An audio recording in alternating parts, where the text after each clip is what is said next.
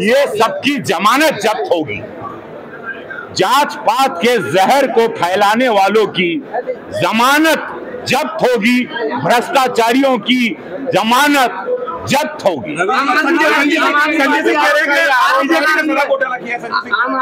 देखिए सत्य क्या है? देश की जनता दिल्ली की जनता जान रही है। आप चार जून को जब रिज़ल्ट आएगा आप देख लीजिएगा ऑन रिकॉर्ड हम बोल रहे हैं, कोई ओवर कॉन्फिडेंस में नहीं बोल रहे हैं। हम लोग ग्रास के, देहात के लड़के हैं, मैं मास का सुपरस्टार हूँ। मेरे फैंस पूरे देश में, गाँव देहात में ज़्यादा हैं।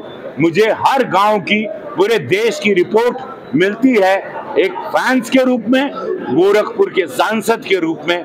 मैं वो रिपोर्ट दे रहा हूँ जो मेरे जमीनी फैंस बताते हैं। रवि जी लेकिन विपक्ष ये कह रहा है कि विपक्ष को खत्म करना चाहते हैं। जाँच एजेंसियों की भ्रष्टाचार करो। देख आपके घर काहे नहीं जाँच एजेंसी आती है भाई? इनके घर काहे नहीं आती? किसी और के घर क्यों नहीं जाती? कोई करेगा तो ही उसके घर आती है जाँच एजेंसी ये बच्चों जैसी बातें करने का समय गया।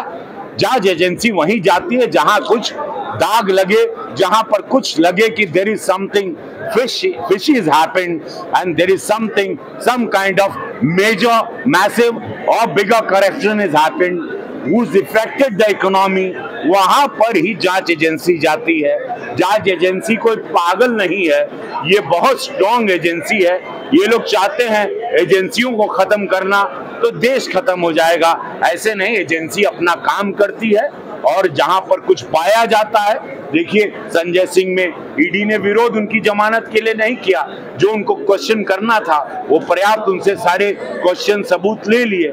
ऐसी कोई बात नहीं इमेच्योर बातें विपक्ष ना करे मेच्योरिटी पे, धरातल पे आए। ये देश की जनता डिजिटल हो चुकी है। मेरे देश की जनता पढ़ी लिखी अब हो गई है।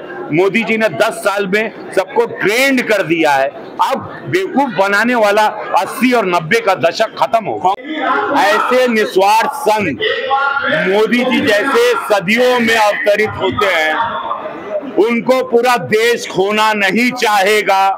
एक एक आदमी मोदी जी के लिए निकल रहा है, हर धर्म का, हर बिरादरी का, हर जात का।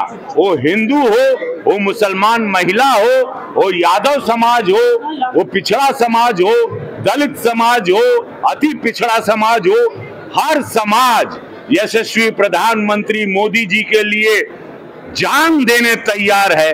140 करोड़ की जनता सिर्फ़ और सिर्फ़ यशस्वी प्रधानमंत्री मोदी जी, जो एक निस्वार्थ संत हैं, जो इस भारत की सेवा करने आए हैं, अवतरित हुए हैं, उनको तीसरी बार 400 पार से जिताएगा, इस भारत को विकसित भारत बनाएगा विश्व गुरु बनाएगा।